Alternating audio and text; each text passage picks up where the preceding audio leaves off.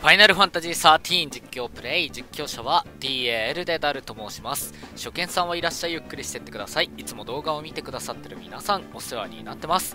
今回はファイナルファンタジー13で自分がやっているクリスタルポイント上げプラスお金稼ぎの方法紹介していきたいなと思います。もしかしたらこれいやどうなんだろうな。ネット載ってるのかな？まあ、自分流なんですよね、完全にね。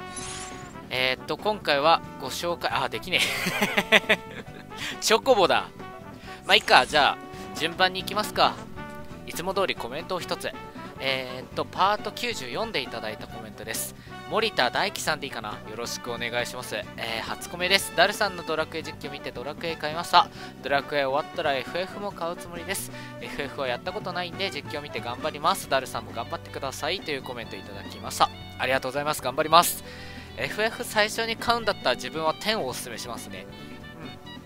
うん。13も一本道でやりやすかったですが、10も同じく一本道でやりやすくて、で、まあ、とところどころミニゲーム要素があってそれもやり込めるし自分は10をおすすめしますね。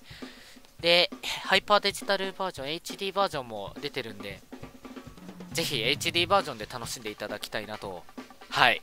で自分は10も実況してますね。10も見てくれたら嬉しいです。露骨な 宣伝をしてところでじゃあ行きましょうか、えー、場所はですね、えー、北部平原だったかなここはね。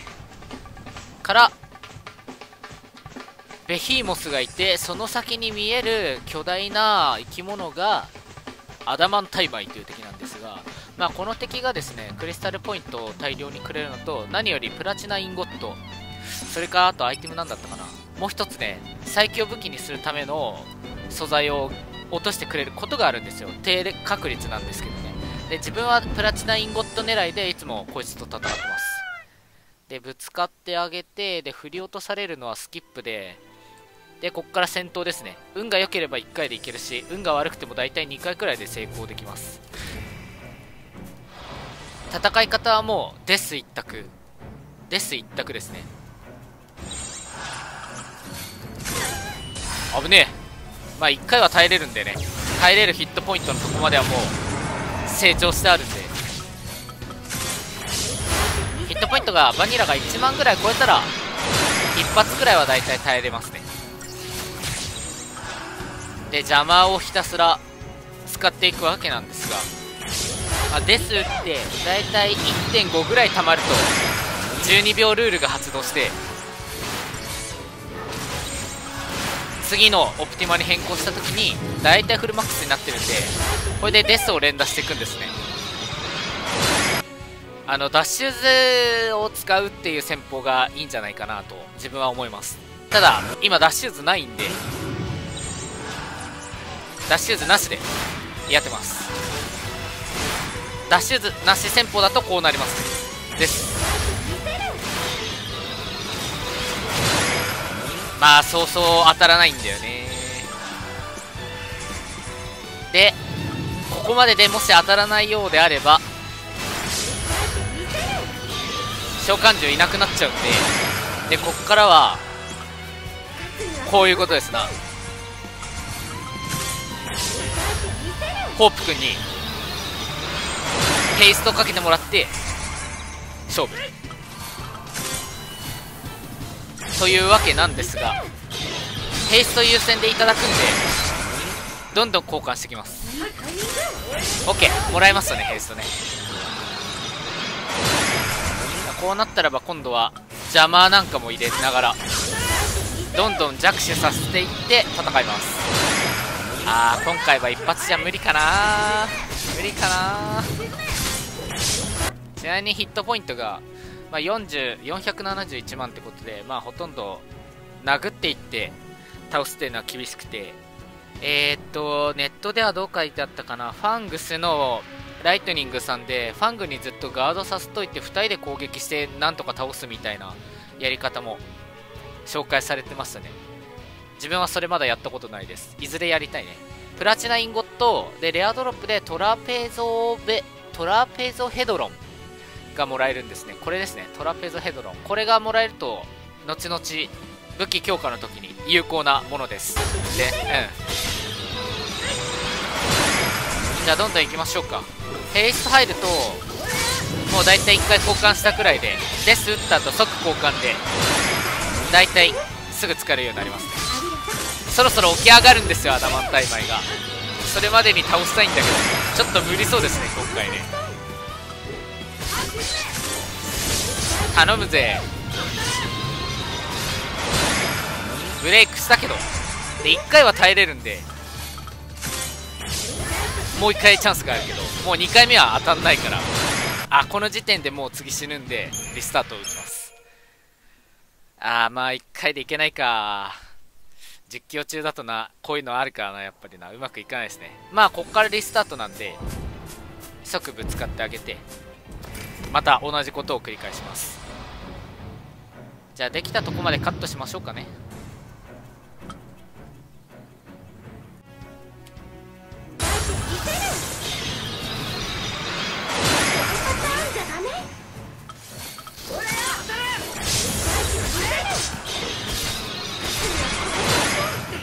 お入った入った入った。オッケーオッケー。さあこれでだよね。問題は。うわーアイテムなし。まあね。これでリセットするのが多分ウィキっていうか攻略の多分ネットで調べると、うん、そう書いてあるんですけど自分はここでリセットしないんですよ。こっちか。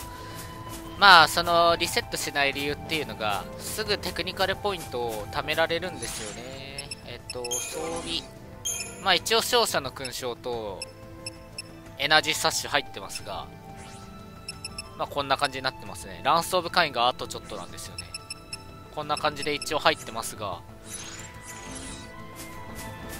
簡単に貯めれるからこそ紹介しようと思ったんですよね。でここにチョコボがいるんでまたチョコボ乗って帰ります。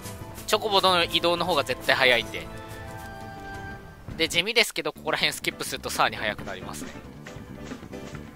さあじゃあさっきのとこに戻るんですが、まあ、セーブポイントのそばにですね必ず奇襲攻撃を決めれてかつクリスタルポイントが1万3000ポイント入るんですね、まあ、それを3回クリアするとテクニカルポイントが、まあ、3に復活するんでまた召喚ができるんですね。召喚できるとアダマンタイマイが最初ぶっ倒れるんでその間デスを放ちっぱ放ち放ち続けることができると。放し続けるか。放ちかいいんだよね。放ち続けることができるんでそれを、えー、何度も何度も繰り返してクリスタルポイントも効率よく貯めながらプラチナインゴット狙っていこうじゃないかと。で最終的に金ゲーなんで FF13 って。金ゲーになるんで。そのためのプラチナインゴットなんですよね。で一応ラッシャーサウト2つあるんですけど。あファングさんが攻撃対象になった時はラッシャーサウト変えてあげないとダメですね。これでブレイクしてあげて。あとはもう打ち上げたら終わりなんで。退屈しのぎにもならねこのこのバトルはすごい簡単に終わるんでここがおすすめなんですよね。ラッシャルアサウトが2つあるとかなり簡単になると思います。で復活なんですけど意外とリスタートしなくてもこいつら復活することが分かってだいたいこの辺ですね。この影くらいまで。あのマップがちょうど隠れるくらいのところまで歩いてあげて戻ってくると復活してるんでこいつらこれを繰り返します。全然リスタートするより早いんでこっちの方が。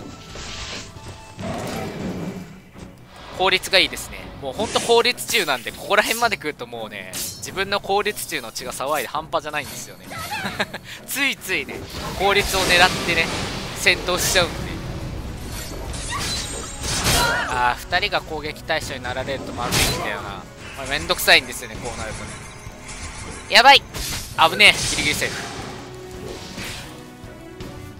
2人まとめてちょうど入っちゃうんですよねどうしても。ラッシャーサルトのあれで。関係上。ブラスターだとその場からほとんど動かないからさ。そうなっちゃうんですよね。まあそれは仕方ない。仕方ない仕方ない。大体こんなもんかな。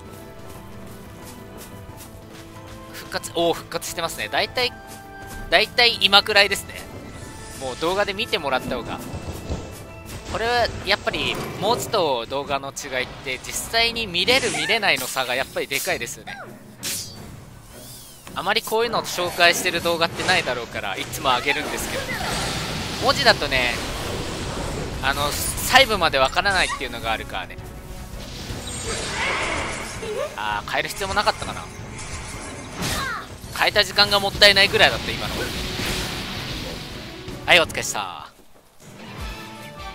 これが2回目だよね。あと1回でたまりきるんでもう1回ですね。もう1回頑張りましょう。えっと自分の計算が正しければこの1工程ですね。最初3溜まってる状態からアダマンとでこの2体倒してだいたい8万約8万ですね。7万9000クリスタルポイントくらいだよね。もらえるんで。えー、っとそうですね。アダマン対マイ戦が2分半くらいでこのバトルがだいたい6分くらいだから移動も含めて6分。だいたい10分で8万。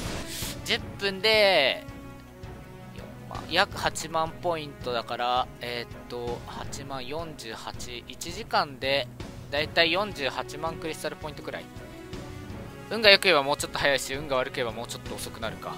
でプラスプラチナインゴットかトラペドゾロン。トラペトラペドゾロン。ゲットかできる可能性も高いんでうんうんかなり効率がいいんじゃないかなと。回復しつつ回復じゃない。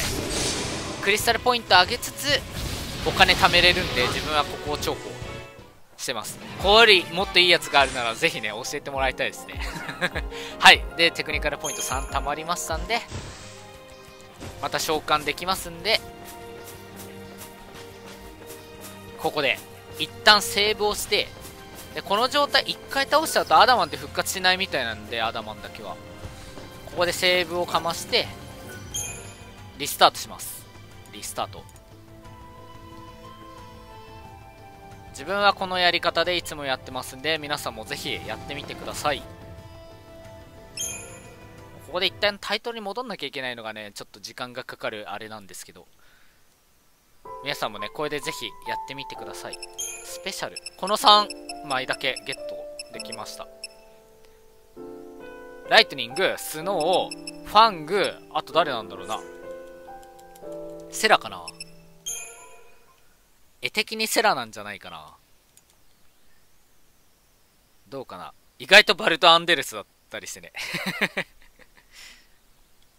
ここがね読まなきゃいけないっていうか見なきゃいけないから辛いとこ。アルカキルティ大平原の BGM すごい好きなんですよね。おしじゃあコメントいきましょうか。えー、っとあやばい。常に手前に表示。OK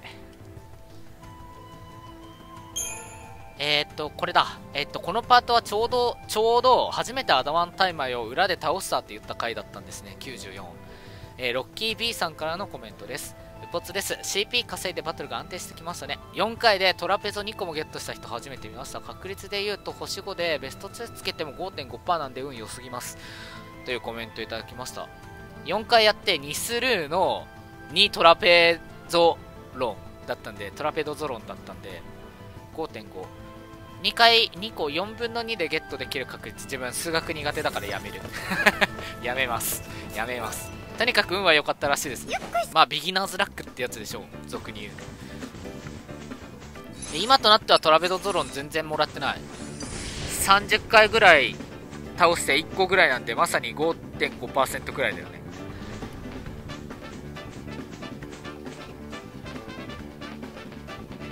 で、また、はい、この通りね、リスタートすると復活してるんで、倒します。